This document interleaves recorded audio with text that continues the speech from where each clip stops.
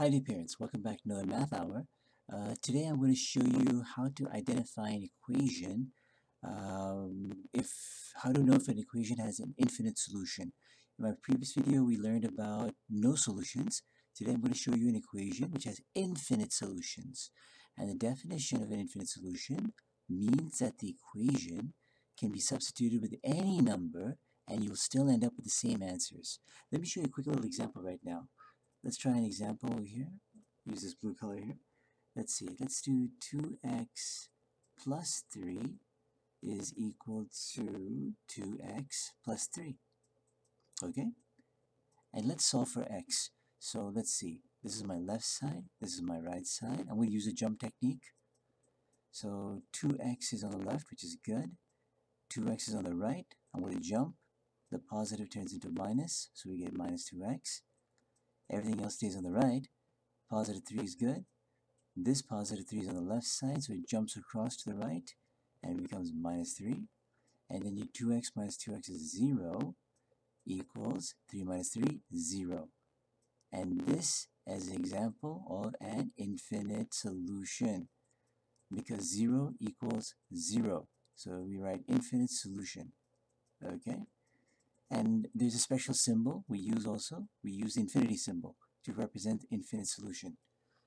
So what this basically means is that I can replace x with any number and it'll still come out with the same thing.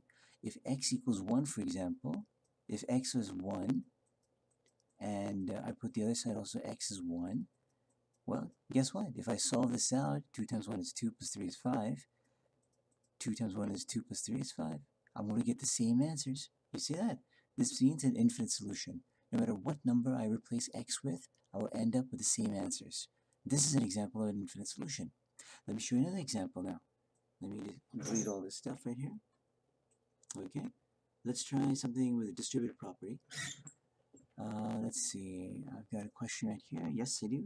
We got minus 4 multiplied by v plus 3, close parentheses, equals minus 12 minus 4v. Um, let's solve this. Let's solve for v. So I'm going to use distributive property. I'm going to multiply it all out. So it'll be minus 4v. And minus 4 times 3 is minus 12 is equal to minus 12 minus 4v. Okay. Same thing. I'm going to do the jump, jump technique, left and right. Uh, let's see, my v has to be on the left side, so minus 4v is good, but this minus 4v is on the right side. Let's jump across that equal sign, and it turns into positive 4v.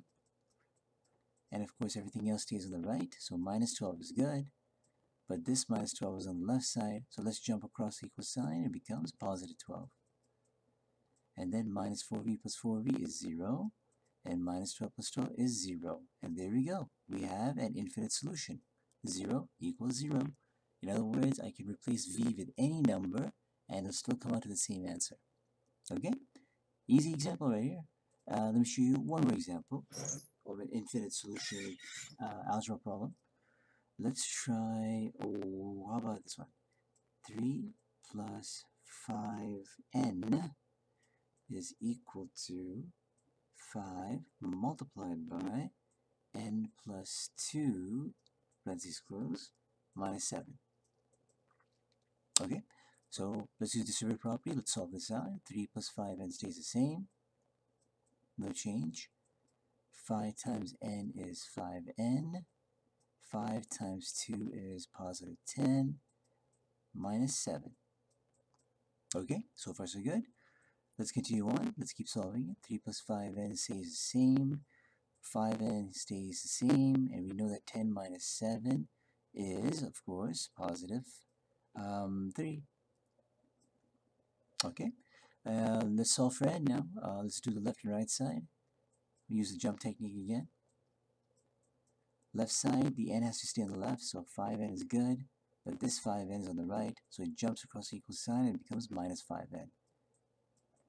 Everything else stays on the right side, so positive 3 is good. This positive 3 is on the left. Let's jump across to the right side. It becomes minus 3. 5 and 5 and 0. 3 minus 3 is 0. Infinite solution, IS. Or you could put the sign. And there we go, ladies and gentlemen. This is how you basically prove if an equation has an infinite solution. Okay? Thanks so much.